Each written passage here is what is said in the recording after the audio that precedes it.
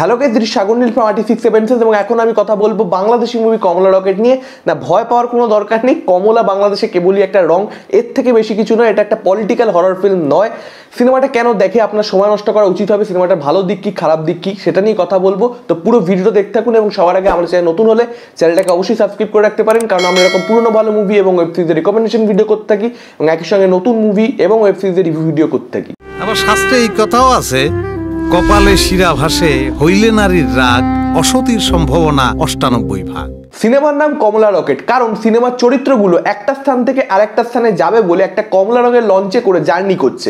প্রত্যেকটা ক্যারেক্টারের নিজস্ব গল্প রয়েছে, প্রত্যেকটা ক্যারেক্টারের নিজস্ব বৈশিষ্ট্য রয়েছে। একজন ফ্যাক্টরির মালিক বিয়ে করেননি, কিন্তু চরিত্রবান।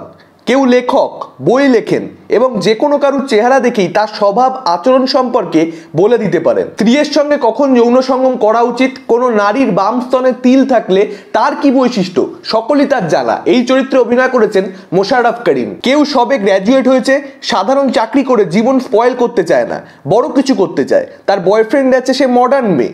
বিয়ের আগে লঞ্চে বয়ফ্রেন্ডের সঙ্গে সেক্স করতে তার ভয় নেই। কেউ বিজনেসম্যান স্ত্রী আছে, ছেলে আছে, কিন্তু পরকিয়া করে। তাকে কেউ পাত্তা না দিলে তার ইনকামের সঙ্গে নিজের ইনকামের তুলনা করে বুঝতে চেষ্টা করে। আমাকে পাত্তা দিল না। এত রোয়াবিটা কিসের? কারও স্ত্রী সদ্য মারা গেছে, শোকে, বেদনায় সে মৃয়মান কিন্তু কি করবে? একটা সন্তান আছে, তার জন্য জীবনটা তো রাখতে হবে। লঞ্চে ওঠার আগে অবধি চরিত্রগুলো একে অপরকে চিনত না। কিন্তু লঞ্চে ওঠার পরে সিনেমাটা যখন শেষ হচ্ছে, তখন দেখা যাচ্ছে প্রত্যেকটা চরিত্র একে অপরের সঙ্গে ভীষণভাবে কানেক্টেড প্রত্যেকটা চরিত্র জীবন কীভাবে যেন মিলেমিশে একাকার হয়ে যাচ্ছে।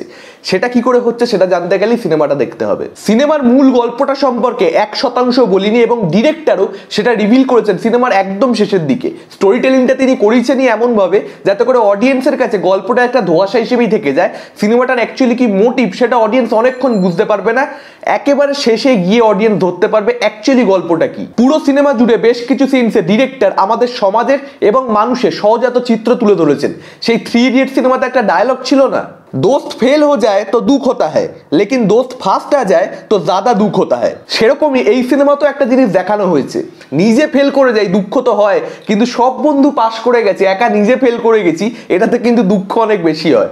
আপনি কি করেন? আমি লিখি, লেখেন তো ভালো কথা, কিন্তু আর্নিংটা কীভাবে করেন? প্রফেশনটা কি? এই কথা কিন্তু আমাদের সমস্ত লেখক ভাই বোনেদেরই শুনতে হয়, সেটাকে খোঁচা দিতে কিন্তু ছাড়েননি ডিরেক্টর ভাগ মিল্কা ভাগ সিনেমাতে একটা ডায়লগ ছিল। পয়সে কামানে কে লিয়ে ভি, পয়সে কি জরুরত হতি হে? সেটারই একটা উদাহরণ এই সিনেমাতে দেখা গেছে, যেখানে বলা হচ্ছে সরকারি চাকরি এখন ঘুষ ছাড়া হয় না। এখন দু বিঘা বেচো, পরে চাকরি পেলে পাঁচ বিঘা কিনে নেবে। এরকম জীবনমুখী ডায়লগ এরকম জীবনমুখী সিনস সারা সিনেমা জুড়ে আরও অনেক রয়েছে। ক্যামেরা ওয়ার্কের প্রশংসা যত করব তত কম। মানে এত সুন্দর লাগছিল দেখতে, নদী, সমুদ্রকে বিউটিফুল ভাবে ক্যাপচার করা হয়েছে। সত্যি স্বীকার করতেই হচ্ছে, ওপার বাংলার মতন সিনেমাটোগ্রাফি ক্যামেরা ওয়ার্ক এপার বাংলার খুব কমই সিনেমাতে দেখা যায়। আগেই যেটা বললাম, প্রত্যেকটা ক্যারেক্টারের গল্প আলাদা, প্রত্যেকটা ক্যারেক্টারের বৈশিষ্ট্য আলাদা, সেই অনুযায়ী কিন্তু প্রত্যেকটা ক্যারেক্টারের জন্য আলাদা আলাদা বিজিএম ইউজ করা হয়েছে, এটা আমার খুব ভালো লেগেছে। ভালো করে গল্পটাকে নিয়ে ভাবলে বোঝা যাবে মোশারফ করিমের চরিত্র কিন্তু প্রধান চরিত্র নয় সিনেমাতে। কিন্তু তার মধ্যে একটা জাদু আছে। কিছু একটা করেন স্ক্রিনে যেটার জন্য তার চরিত্রকে অডিয়েন্স ভুলতে পারবে না। ডিকশনারি ধরুন কিংবা টেলিভিশন ধরুন, টেলিভিশনে তো তিনি থার্ড লিড তো এই সিনেমাগুলোর কিন্তু আমি রিভিউ করেছিলাম আই বাটনে লিঙ্ক দেওয়া রয়েছে ডেসক্রিপশনেও দেওয়া থাকবে, চাইলে তোমরা দেখতে পারো। ছেলে মেয়েদের এখন একটা র্যাট রেসে নামিয়ে দেওয়া হয়েছে। এখন আর বাবা মা দেখে না যে ছেলে মেয়ে শিখছেটা কি।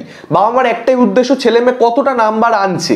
তার ক্লাসের আর পাঁচটা বাচ্চার থেকে বেশি নাম্বার আনছে নাকি কম নাম্বার আনছে? কারণ বেশি নাম্বার যদি আনে, তাহলে মান সম্মান প্রচণ্ড বেড়ে যাবে, বুক একদম গর্বে ফুলে যাবে। কিন্তু যদি কম নাম্বার আনে, তাহলে মাথা হেট হয়ে যাবে আর পাঁচটা ফ্যামিলির সামনে তাদের বাচ্চা রেজাল্ট ভালো করেছে, আমাদের বাচ্চা রেজাল্ট ভালো করেনি।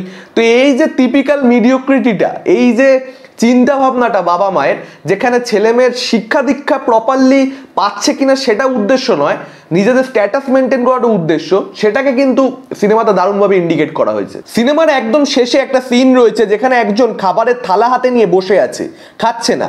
আর একজন খাওয়া শুরু করবে জাস্ট সে ভাবছেও বসে কি যে করছে লোকটা? খাবার নিয়ে বসে আছে, খাচ্ছে না। কিছুক্ষণ পর দেখা যাচ্ছে যে খাচ্ছিল না, সে খাওয়া শুরু করছে। বলছে, লঙ্কা নিন, খেতে স্বাদ লাগবে। কিন্তু যে খাওয়া শুরু করছিল, তার বমি চলে আসছে।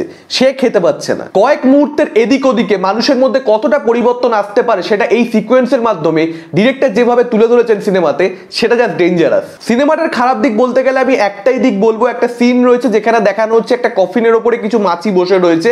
কিন্তু বিজিএম হিসেবে শোনা যাচ্ছে মাছি বনমন করার শব্দ। এবার মাছি বনমন করার শব্দ তখনই শোনা যায় যখন মাছিগুলো ওড়ে মাছি শান্ত হয়ে বসে থাকলে কিন্তু কখনো শোনা যায় না।